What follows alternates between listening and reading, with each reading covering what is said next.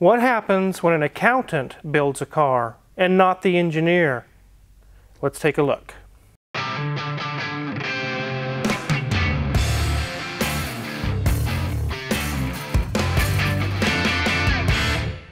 So this is a really nice 2011 Mercedes E350 convertible.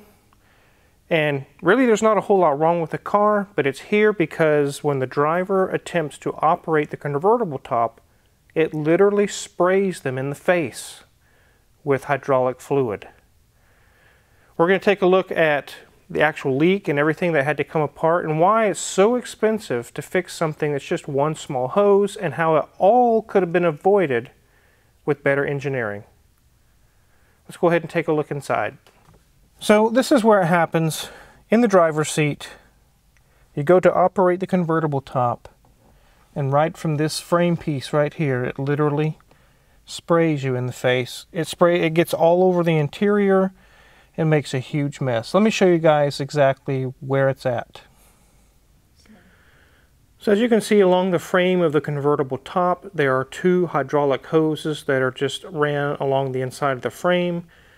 And although it's not a problem in the current position, after you open and close this multiple times, it actually just keeps bending the, the steel braided hose until it snaps. And that's where it sprays you all over the face. I talked to Magic Mike who's doing this job and he said this is a common issue. These fail all the time and they just make a huge mess all over the place. What is it with Mercedes-Benz and spraying people in the face with hydraulic fluid? Why do they do that so much? This goes all the way back to the late 80s, early 90s when they came out with the SL500 and it had the hydraulic convertible top that would fold down. Those cylinders fail and it sprays you in the lap, sprays you all over your chest. Luckily, this is not a cylinder problem, but this is crazy. Here we are in 2011 and we still haven't solved or found a way to operate a convertible top without spraying people all over themselves. Now, this problem is not a cylinder. The cylinders are fine. They're all dry. They operate just fine. This time around, however, it's the actual steel high pressure line that's the problem. And the line itself, although it may be a little bit expensive, in order to get it out is a major teardown. Let me show you guys what I mean. So as you can see, we have moving blankets all over the interior to help block from any further leakages. If you operate or try to move this at all, it starts leaking more fluid out, and we don't want any more fluid than already has leaked into the interior. But we have the inside track of this all apart.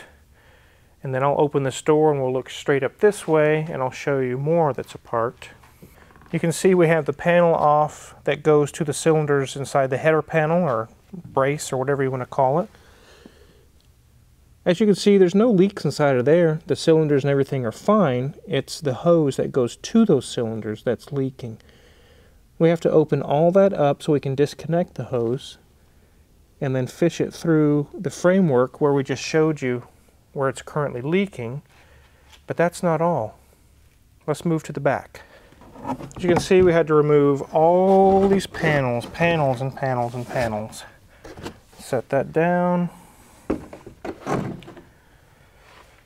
Basically tore the trunk apart to get to the hose that goes back there in the corner. You can see the hydraulic unit. There's a little white reservoir it says maximum and minimum on it. Right there is the hydraulic pump the reservoir and the valve block that controls the whole system.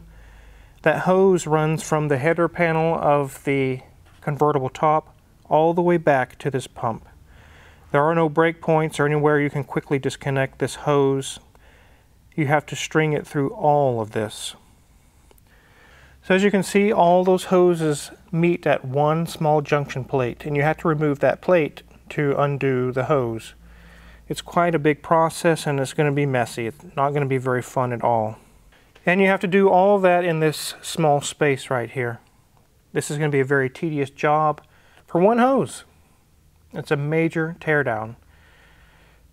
After we saw where the leak was, Magic Mike looked at me and he was like, this is not going to be easy. This is not going to be good. This is not a 10 minute job. And I looked at him and I said, that tells me it's not going to be a $200 job either. This is going to be very, very expensive. It's going to easily exceed $1,000, if not maybe even double that. Because we're going to have hours of labor to get to this thing. Then we have to clean all the interior out, string the new hose in, put all this stuff back together, all for one tiny little pinhole of a leak. It's easy to think that we could just mend right there where the pinhole is, but the hose is like braided spiral steel you're just not going to be able to interface with those very easily. And the little connections that Mercedes uses for these, you can't just go to the hardware store and buy that stuff. We're going to have to remove the hose as a entire length and then replace the entire length of that hose.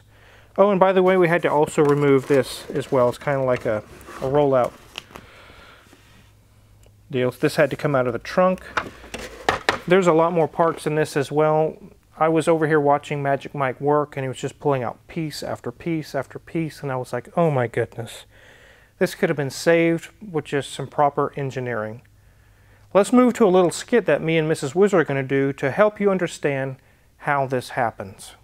Okay, I was going through the engineering documents. I was looking at the routing for all the hydraulic hoses in this car, and I think there's a problem right at the hinge point where the convertible top opens us in engineering are concerned that over constant use that could break and literally spray the person in the face. That could be a hazard. I wanted to take a take a look at it. So this part you're looking at, you're wanting to replace this with an, a different fitting that's going to cost five dollars and eighty five cents more each time we build a car. Yeah, it's a little swivel right there at the hinge point. It's like a valve block. It would allow it to move fluidly without breaking the hose. Do you understand that $5.83 times the 200,000 vehicles we'll be producing, that adds up very quickly? Well, yes, but that, isn't that the hallmark of Mercedes is proper good engineering? Except my job as the accountant is to make sure that we don't go over budget. Let me show you. Okay.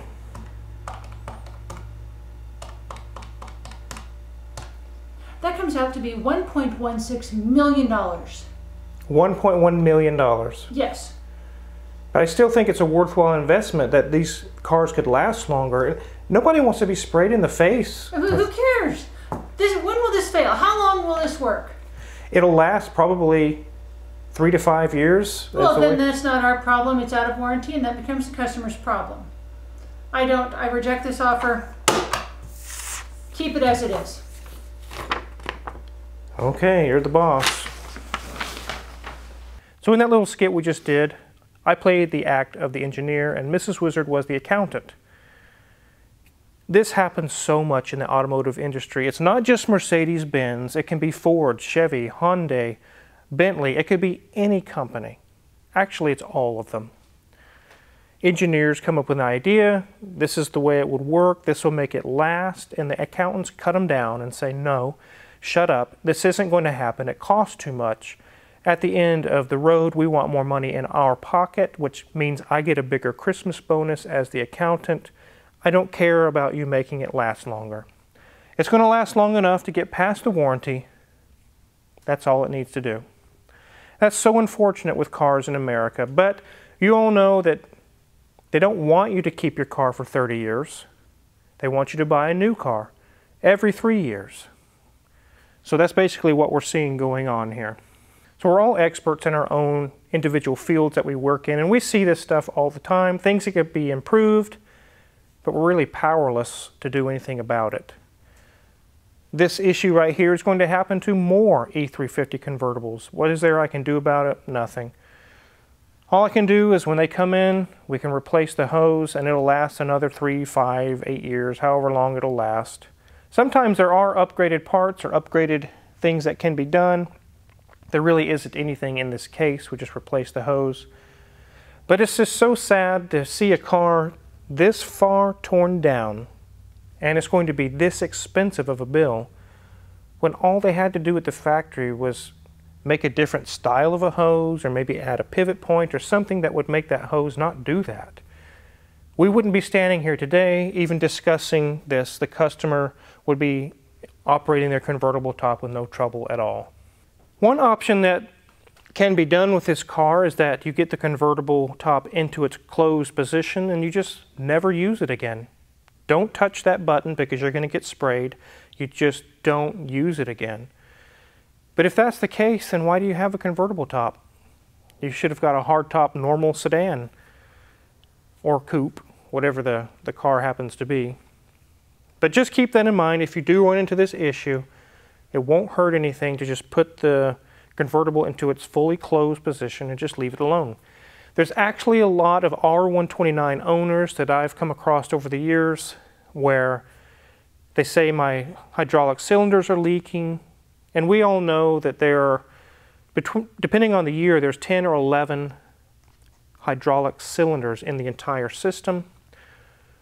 When one starts to leak, or two or three, we replace all of them because it's a domino effect.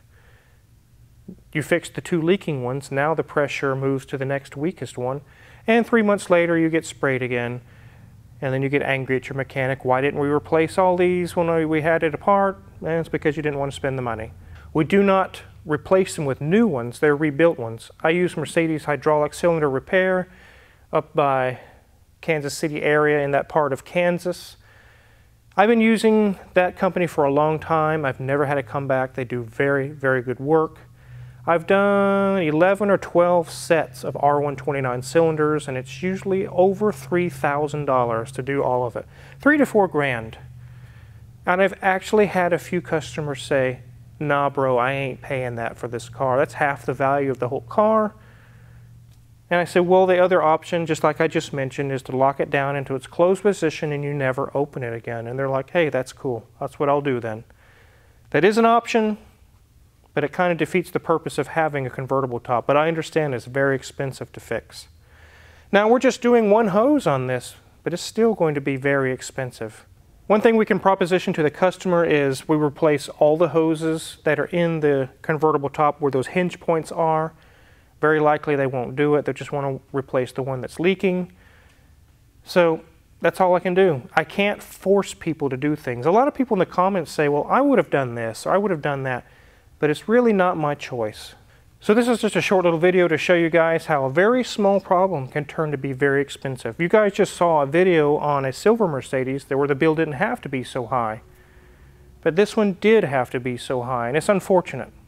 So if you're curious what kind of tools Magic Mike is using to fix this E350, check my Amazon affiliates link in the description below. We get a small cut and we really appreciate it. Make sure to hit the subscribe button because there's many more cars coming into the shop constantly. Thanks for watching.